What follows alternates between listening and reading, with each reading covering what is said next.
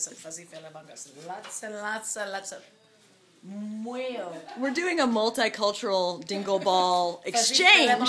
And in what part of the world do they call them fuzzy felabungas, Eboo? In San Diego County, California. And what do they do with the fuzzy felabungas? they put them in their car and they go fuzzy, fuzzy felabungas.